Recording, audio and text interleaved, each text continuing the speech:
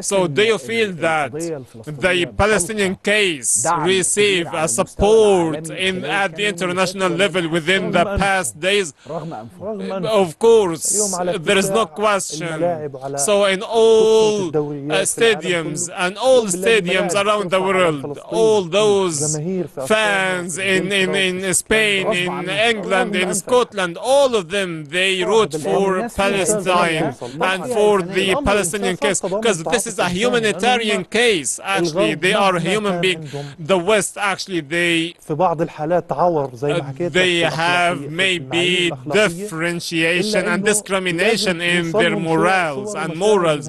But when they watch those videos, actually, it moves their hearts. and they feel how hard our life is and uh, and the, the kind of atrocities that we face and all this kind of aggression that we عائلات face. بموت منها بال- So maybe بالعشرينات. يعني في عائلة uh, شهير وشهاب this uh, اتذكر وانا uh, بتابع so الأخبار what 44 we شهيد say من today العائلة. actually عائلة مغاري yeah طبعا بيبقى في لنا معارف yeah لهم uh, يعني yeah so what نعرف you يعني watch قعدنا قبل today قبل حدا actually منهم لعبت كورة مع حدا So منهم th- there are football عائلة المغاري. players, maybe uh, دكتور family من عائلة members, المغاري. a أنا لما doctor شفت شهيد from الدكتور uh, أحمد المغاري uh, Ahmed Mgheri. أصبت بالصدمة And الأولى uh, لما أنا actually, I كلمته got ورد shocked علي when I طمني. talked to him, and he was فأنت okay. اليوم So and مش after عارف that, تعرف he مين ولا مين. martyred. So كلم أصحابي، uh, أصحابي you don't know مهجرين. uh, how many غير- of your حرب family غير members عادلة، and غير your متكافئة. friends لا، would لا، هي die. م- مش So this is متكافئة. not مش a متكافئة just بالمرة. war, and it is not والضرب a كله في balanced المدنيين.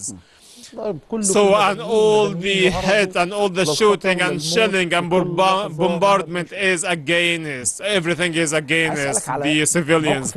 I would like to ask you a question about the, uh, what is the, the, the situation of the Palestinian uh, national team?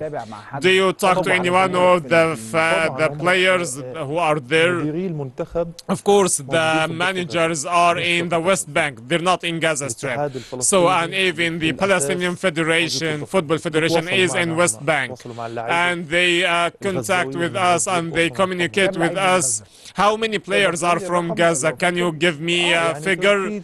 Oh, I think uh, three or four in the national team, maybe the, uh, the young team. Yeah, there are also three or four. And they are, yeah, thank God, they are okay. Thank God. And as I told you, there are many uh, football players who died as martyrs. So yeah yeah this is this happens. And the national team in Palestine as I told you uh, the plays a, a friendly uh, game in Ma in Malaysia and actually we withdraw because of the, this situation that happens. And now we're going to go the qualifiers for the World Cup.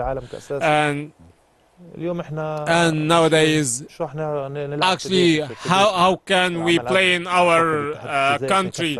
And I think that uh, the Algerian Federation Football uh, Football Federation actually they agreed that we can play there, and of course they are really well. So whatever what we uh, have today and any kind of situation that happens.